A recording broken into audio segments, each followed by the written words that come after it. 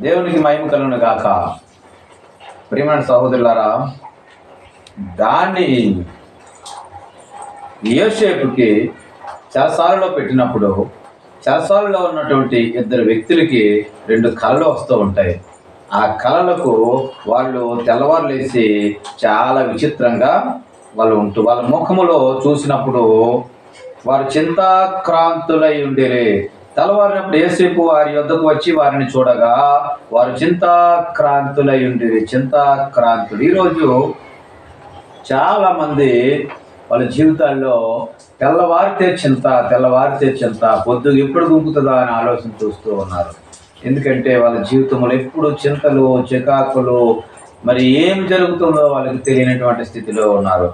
అందుచేతనే అయితే ఇదే సమయంలో మరి యోసేపు గారు వెళ్ళి కలుస్తూ ఉన్నారు. ఏమయ్యా మీరు ఎందుకు అలాగ ఉన్నారంటే లేదయ్యా మాకు రెండు కళలు ఉన్నాయి. మరి వాటిని మా రెండు కళలు కంటాము కన్నాము. వాటి భావం ఎవరు చెప్పగలరు? అంటే అంటే నేనున్నాను మీరు నాకు చెప్పండి నేను చెప్తాను అంటాడు యోసేపు. అంటే యోసేపుకి ఉన్నటువంటి బా ఆ యొక్క ఆలోచన ఏంటి? జ్ఞానం ఏంటి? కళలు చెప్పేటువంటి జ్ఞానము. అయితే ఒక ఆయనకు ఒక కళ వచ్చింది. ఆ కళక భావం చెప్పాడు నీకు మరలా ఉద్యోగం వస్తుంది అన్నాడు. రెండో ఆయన కళ వస్తుంది నీవు రేపు ఈ టయానికి నీ నిన్ను దేవుడు అతమా మరి రాజు నిన్ను చంపేస్తాడు అన్నాడు అంతే. అదే రీతిగా అదే రీతిగా జరిగింది. అయితే ఒక ఆయన మరి ఉద్యోగం వచ్చి ఆ ఉద్యోగంలో చేరిపోతాడు. ఈ యొక్క సరసాలలోనే యోసేపు గారు ఉంటారు. చూడండి ఏసేపు చెరసాలలో ఉన్న దేవుని కృపే ఉంది. రాజుగారి ఇంటిలో ఉన్న దేవుని కృపే ఉంది. మరి తన సొంత గృహంలో ఉన్న దేవుడు తోడుగానే ఉన్నాడు. సొంత గృహంలో అన్నలు చంపాలనుకున్నారు. మరి రాజుగారి గృహంలో రాజుగారి భార్య తనను అపవిత్రం చేయాలని చూసి చంపాలనుకున్నాడు. అక్కడ కూడా దేవుడు తోడుగా ఉన్నాడు. మరి జైలులో ఉన్నప్పుడు కూడా దేవుడు తోడుగానే ఉన్నాడు. కాబట్టి దేవుని బిడ్డలు ఎక్కడ ఉంటే అక్కడ కృప కూడా వెళుతూ ఉంది. వాళ్ళు చెప్పే సామర్థ్యం వాళ్ళకు ఉంది. దేవుని మాటల ద్వారా దేవుడి దర్శనం ద్వారా మరి నీకు ఎటువంటి కళ వచ్చినా చెప్పేటువంటి బాముఖ దేవుని బిడ్డలకు ఉన్నదని దేవుడు ఈ రీతిగా మనం తెలియపరుస్తూ ఉన్నాడు. కాబట్టి నువ్వు ఏ కళ ఒకరోజు పరో గారికి కూడా కళ వస్తుంది. కలవస్తుంటే ఆయన మనసు కలవరం చెందిపోతూ ఉంటుంది. కలవరం చెందిపోతే ఐగుప్తు దేశంలో అందరినీ పిలుస్తాడు. అయ్యా విద్వాంసులు ఉన్నారు. మరి జ్ఞానులు ఉన్నారు. అందరిని పిలుస్తూ ఉన్నారు. కళలు చెప్పమంటే కళలు చాలా చెబితే చెప్ప దానికి అర్థాన్ని చెప్పలేకపోతారు. అప్పుడు ఈ పానదాయకులు వాడైనటువంటి ఆయన ఆ రవు రాజుగా కొలువులో పనిచేస్తున్నప్పుడు ఆయన గుర్తొచ్చి అయ్యా ఫలానా వ్యక్తి ఫలానా రోజు నా కళ వస్తే ఇలా చెప్పాడు. ఆయన ఫలానా జైల్లో ఉన్నాడు. ఆయన తీసుకొని చెప్పండి అంటే ఆయన తీసుకొని వచ్చి చెప్పినప్పుడు ఆయన దాని గురించి చక్కగా వివరిస్తూ ఉన్నాడు అనమాట చక్కగా వివరిస్తున్నప్పుడు ఆయన అంటున్నాడు ఈ కళను జ్ఞానులకు తెలియ జే చెప్పితిని కానీ దాని భావమును తెలుపగలవారు ఎవరూ లేరని అతనితో చెప్పాను. ఏమయ్యా ఈ భయంకరమైన కళ వచ్చిందయ్యా నాకు.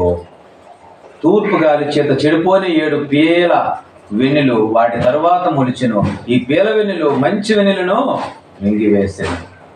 చూడండి ఏడు మంచి వెన్నెలు వచ్చాయి ఏడు పీల వెన్నెలు వచ్చాయి అంటాడు.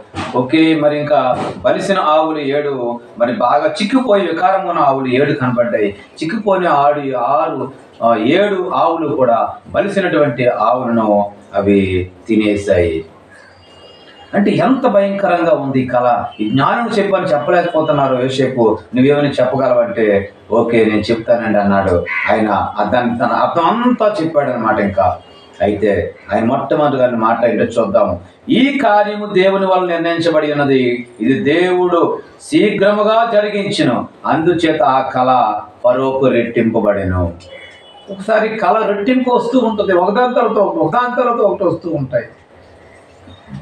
అయితే ఈ కళల భావాలు చెప్పడానికి కూడా ఒక కావాలి. ఆ రోజు ఫరో కళకి మరి ఆ యొక్క జైల్లో ఉన్నటువంటి ఆ ఇద్దరు ఖైదీల ద్వారా కళలకి భావం చెప్పడానికి గాను యోసేపు గారిని దేవుడు వాడుకున్నాడు. ఈరోజు నిన్ను ఈ దేశ భవిష్యత్తు కొరకు నీ కుటుంబ భవిష్యత్తు కొరకు నీ భవిష్యత్తు కొరకు నీ సంఘం కొరకు నీ యొక్క మరి నీ మంచి ప్రణాళికల కొరకు దేవుడు నిన్ను వాడుకోవడానికి ఇష్టపడుతూ ఉన్నాడు. అందుకే ఆయన అంటున్నాడు కదా మంచి ఆలోచన చెప్పాడు. ఇదేనయ్యా ఏడు సమృద్ధి పంట పండు ఏడు సంవత్సరాలు వస్తాయి. సమృద్ధిగా పంట పండుతాయి. మరి ఏడు సంవత్సరాలు వాటిని మరిపించినంత కరువు వస్తుంది. అందుచేత మీరందరూ కూడా అవన్నీ విషయాలు ఎలాగ భవిష్యత్తులో ఎలా ప్రణాళికలు అన్నీ కూడా ఆయన తెలియజేసినప్పుడు అప్పుడు రాజు అంటున్నాడు దేవుని ఆత్మగల మనుషులను కనుగొనగలమా? అని నేను ఇది దే మరియు ఫరో దేవుడిదంతా నీకు తెలియపరిచిన కనుక నీవలే వివేక జ్ఞానం గలవారు ఎవరినో చూడండి లేరు అని ఒక రాజు ఒక దేశాన్ని పరిపాలించే రాజు ఒక దేవుని బెడ గురించి స్టేట్మెంట్ ఇస్తూ ఉన్నాడు.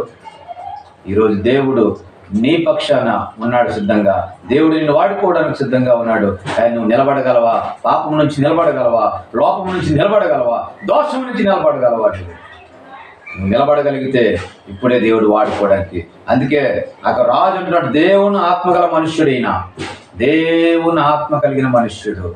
ఆయన అలాంటి వ్యక్తి మరి ఎవరు కూడా? ఇంత వివేకము గల జ్ఞానులు ఎవరూ లేరు. రాజు ఒక చక్కటి మాట సెలవిస్తూ ఉన్నాడు. నిన్ను గనపరుస్తూ ఉన్నాడు. ఏసేపుని గనపరిచినటువంటి రాజు. ఈరోజు నిన్ను కూడా మన పరమరాజు రాజులకు రాజు అయినటువంటి యేసు ప్రభువారు. యేసు ప్రభువారు. దేవుడు దేవుడి మహిమ కలుగును గాక. ఆమె